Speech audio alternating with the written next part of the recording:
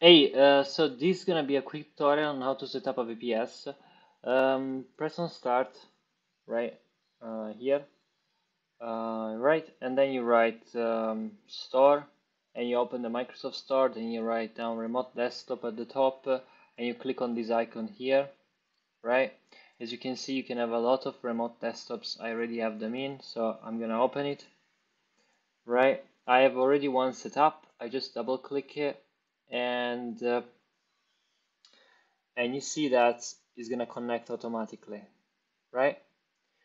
Uh, just in case uh, you don't have it uh, set up right? Uh, let me show you how to do it. Let me show you how to get it. Um, we go right foot up. All right so basically how it works is very simple. You click on add uh, PC then here you write the, the IP um, let me just uh, uh, find it for you real quick. Real real quick. Mm. okay so it's very simple. You add down uh, you add the IP of the machine here. And uh, yeah like you can add the password and the username. So let me copy the username. Uh, that's uh, account administrator show me more. Let me see. Connect to admin session okay that's my account. Let me add the IP now. I'm looking. Okay I just found the IP I, I just paste it. Then I click on save. And I double click it. It's gonna ask me for the password. I copy the password. Don't ask this certificate again. Yes uh, details, perfect, connect anyway, it's gonna ask me for a password, I connect. And I'm in. I am there finally in.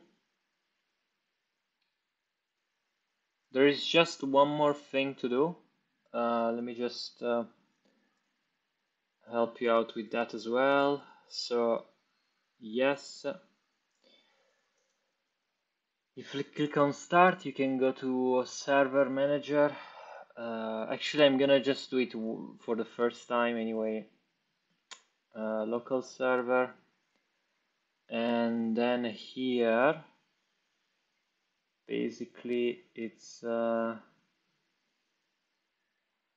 enhanced uh, security configuration on. Let's turn that off and that's basically it. So right now you have only explorer. Uh, yeah but you can install also google chrome uh, just by i mean you can search how to install that. But anyway you can do anything you want on the internet with uh, with explorer anyway. So uh, that's basically the end of the tutorial. Uh, if you have any questions please let me know in the comments down below. And um, and yeah uh, I see you in the next one. Let me just uh, close this